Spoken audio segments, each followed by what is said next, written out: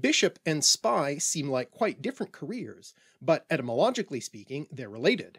They both stem from the idea of seeing expressed by the Proto-Indo-European root spec, meaning observe.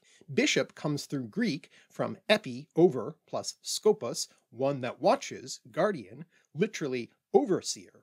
It transfers from Greek episkopos, a title for a government official later adopted by the church, to Latin episcopus, to Old English bishop.